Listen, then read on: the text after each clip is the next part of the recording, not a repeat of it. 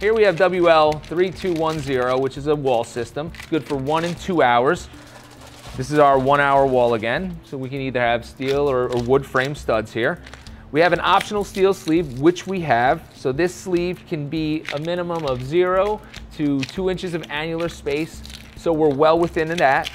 It's uh, pre-caulked already, as you can see. Uh, we just wanted to make things a little bit easier on ourselves here. Uh, but you definitely need to deal with the annular space around the periphery of the sleeve as well as what's going on inside, which is what the putty is gonna help us out with. So still reading through here, this pipe, uh, this sleeve can actually be at a 45 degree angle if we needed it to. And then under number three is where we see that cross-sectional fill of 48%. So Eddie, what do we have, a four inch uh, sleeve here?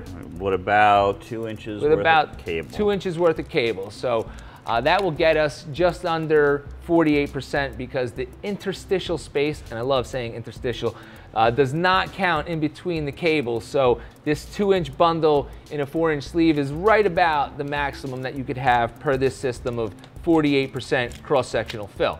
So now we have a minimum of uh, zero point contact, so they can be touching to a maximum of one and a half inches of putty around the outside. Reading that system, we're gonna keep going down further. Uh, mineral wool may be required in this system if you use sealant, but since we're using putty, we're gonna use a depth of putty that's not gonna require any mineral wool. Now what is that depth? That depth is going to be one inch. There we putty go. That looks about that one inch. Not required to have any mineral wool. So that one inch of putty is going to be put around. Eddie's going to center it because that's uh, it's always best practice to, to kind of get it centered there. And then he's going to just rip off the excess that he doesn't need there and get about an inch in there.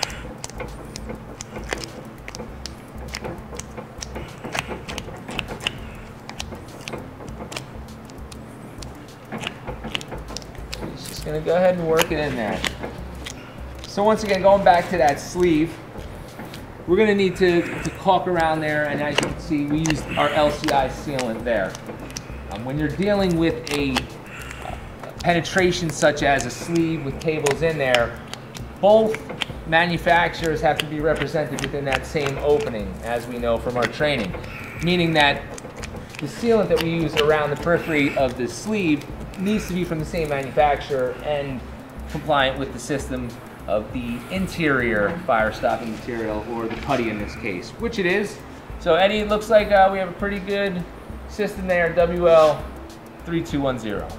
In the meantime, for more information, please visit www.stifirestop.com.